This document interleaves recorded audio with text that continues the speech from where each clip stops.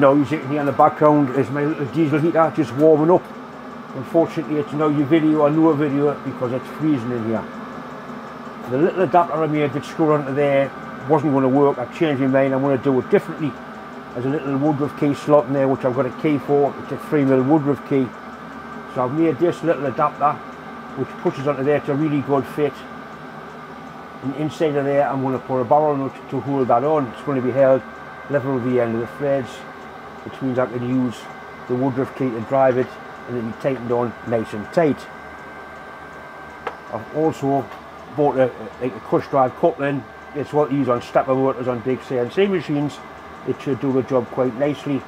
Uh, it come with a 19mm bore. I've bought it out bigger to fit on there. So that's going to go onto there. Probably held on with two grub screws, I'm not quite sure.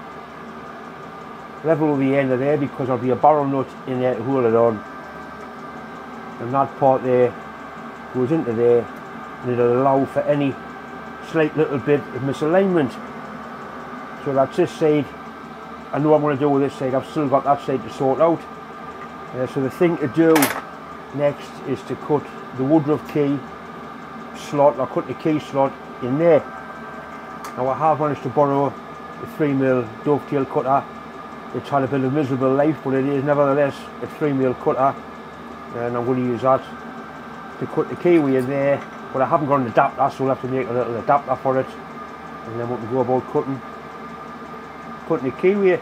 I've got lots of broaches, but I haven't got a broach 3mm, so that's why I had to borrow one that's the sort of thing we need to make an adapter that's a bigger broach obviously uh, that fits into the, into the hole of one broach and that goes in there and these teeth get gradually bigger and bigger and they're pressed through there and that cuts the, the, the keyway once you cut a little bit you put a, a shim in behind there take another cut and you carry on until you get the, the keyway cut to full depth. It's slow old but it always works. I've found that in my scrap bin. I've got no idea what it is or what it was, but it's halfway to being a broach already, or a broach guide already. I'm just going to turn this down to down, give you a nice fit in there, which you know is 15 mil. It's saying 15.9, so we'll take just under half a mil off.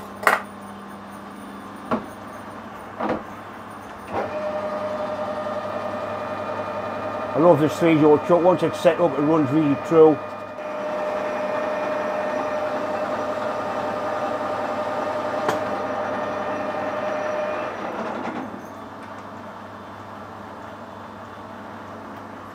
Straight on the tight side. Hair more. Right, that's it. That's a blonde fanny's hair, that's a really thin one. Ginger one of the thick, thick ginger bastards.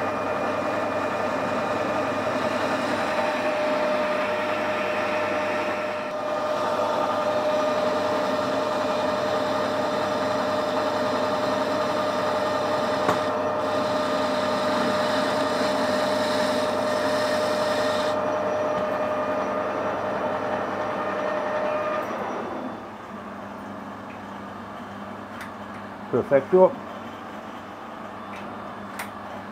I don't actually need that much so we can take a bit off the end of it. Just needs with the length of the bush, no more, no less. Although it won't harm to leave it, leave it that length in case I get a, a thicker bit of material to do. Just part your end off.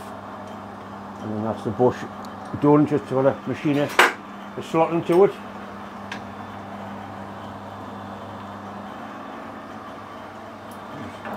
Drop down the gear. Don't know what this was made out of or what it was for, just appears to be a bit of soft steel, it's machining quite nicely. Little bits like that are always invaluable.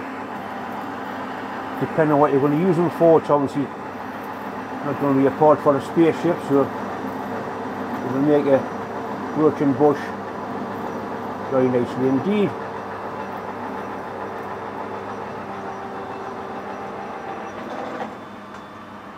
And a little bit goes back in the scrap bin.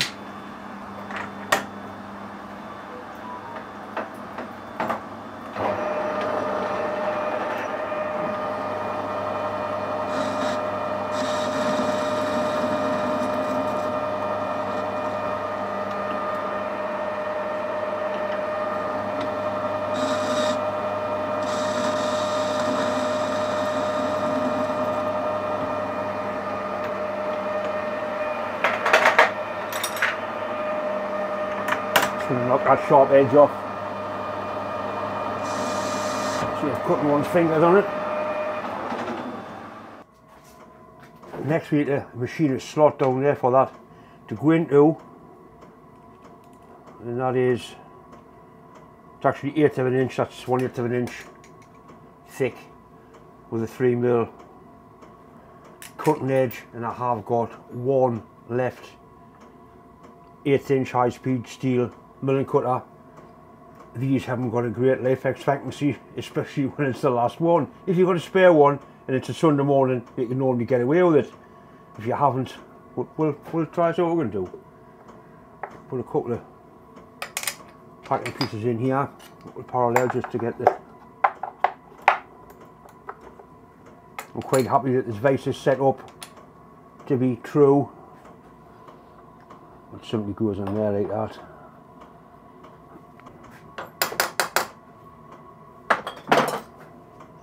and we'll find the centre of it in the middle of the, middle of the slot in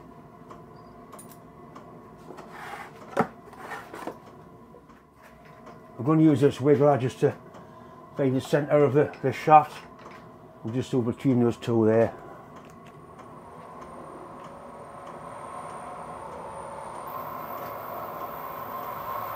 Oh, we don't bring it across until it stops moving and it'll push off as we keep advancing it. That's it there. So we'll zero that axis on the DRO. Same the other side. Stop moving.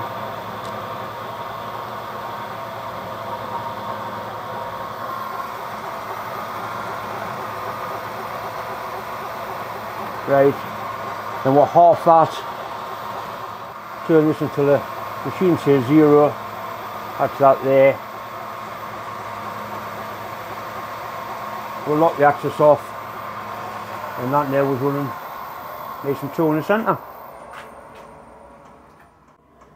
Right, the milling cutter I've set up, you can see it's bang in the centre. I've got the machine running as fast as it'll go, which I think is about 3,500. I've got safety goggles on because this milling cutter has only got one ambition in life and that really is to snap off. Taking tiny little cuts. I put some water on it as well, give it a fighting chance.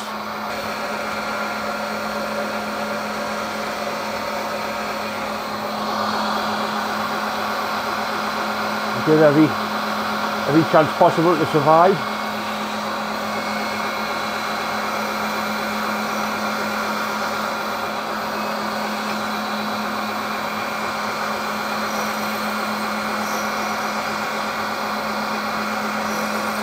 Taking quarter of a mil cut, that's all no more.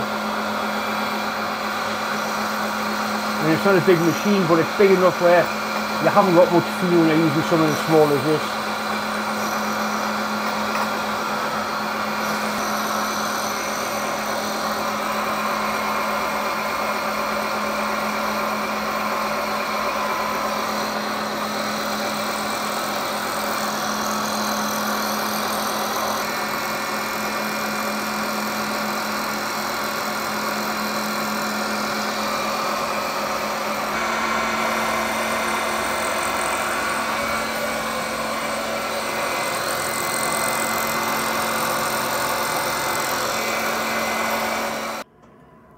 I've managed to get it machine without breaking the milling cutter, but it did take a long time.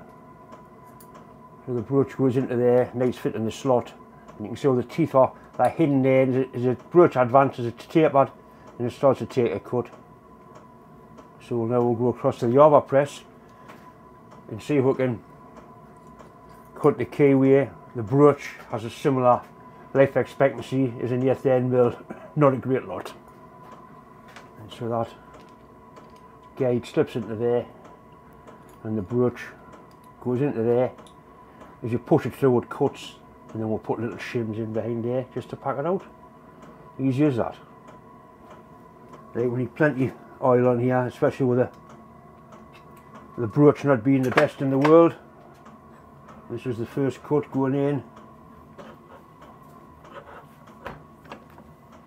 Little space that to go in there just to put it through the last little bit. But that felt quite nice. Hopefully it's going to play and not be a bastard. I can't believe how long I've been on putting this miserable keyway in here. But it'll all be worth it in the end.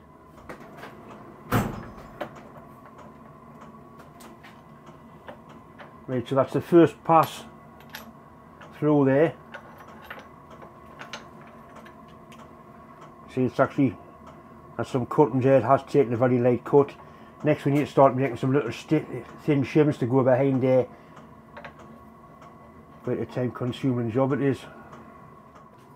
I put a little shim in behind it so it can take another bite of the cherry, so to say. The cutter is blunt, it's struggling to, to do this, especially cutting stainless. I'm putting a lot of weight on here. Oh! Say the, the ideal thing for it is to snap, the leg snapping really hard, yeah. And especially when it's not mine. Right, after all that, after all that, I've managed to get a keyway cut in there. Quite nice it is as well, I'm pleased with it. And it does in fact want to go together.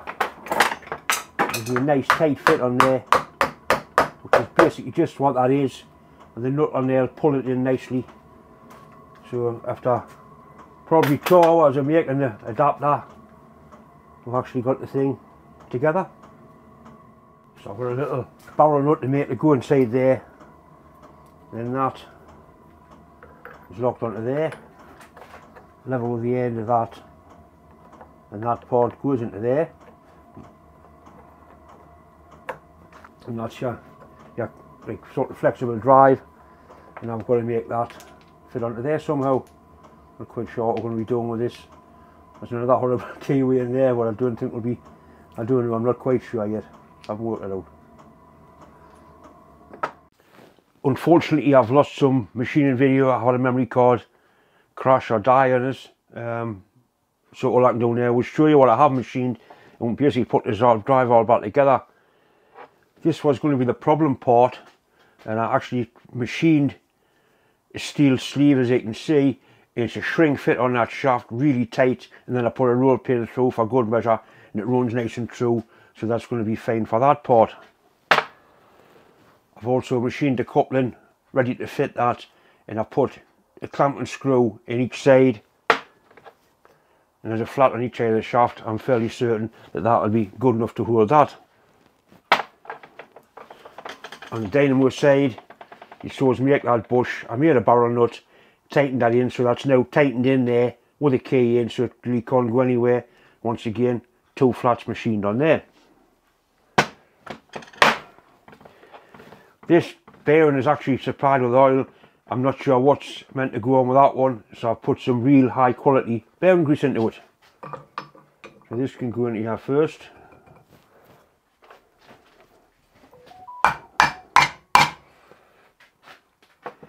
And the coupling can go onto there.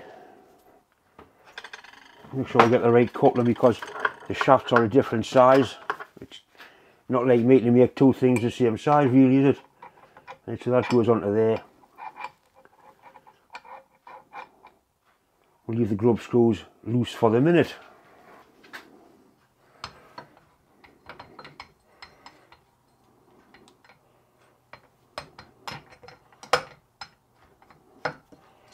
Right, it all goes together.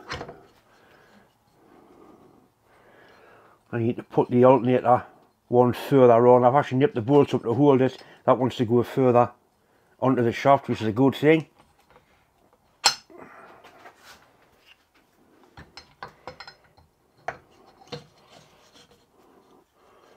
Right, because that one there will slide. I put a bolt in just to hold it for the minute.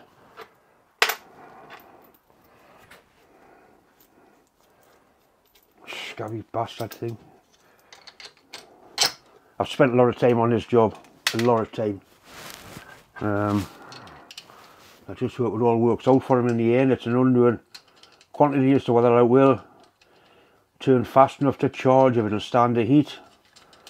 We'll find out. Won't we? Epoxy thing.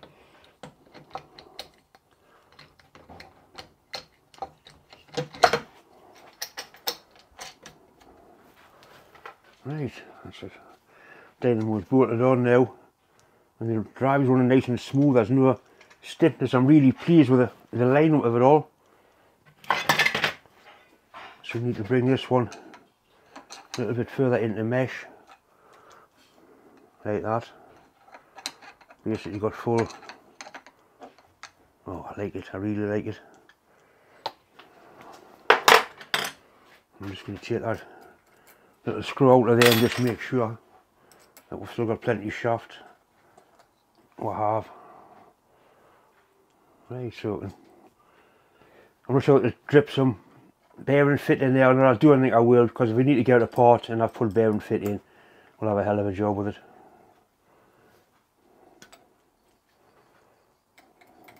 I've put these in instead of grub screws just so you can get a lot more, you get them a lot tighter with a, a decent head on them.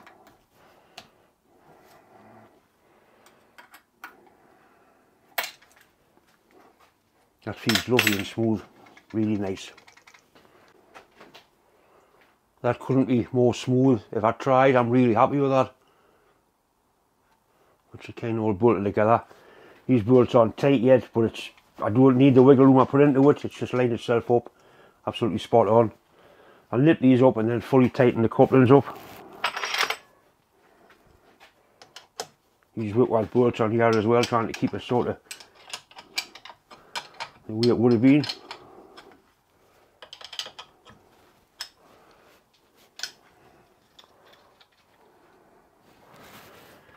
Right now for a final tighten of these.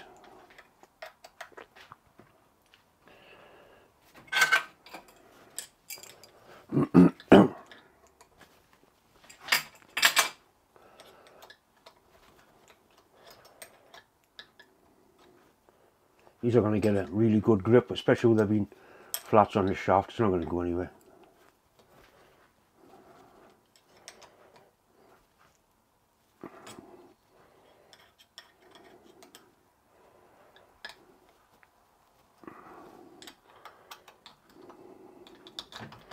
the ball alloy keel come in very handy.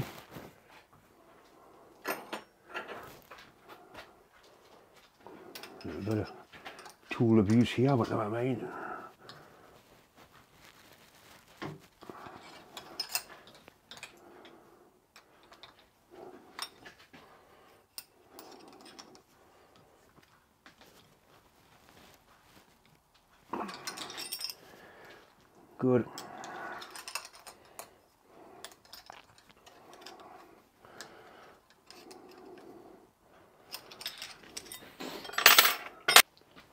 So that's the, the finished article. I'm really, really happy with that.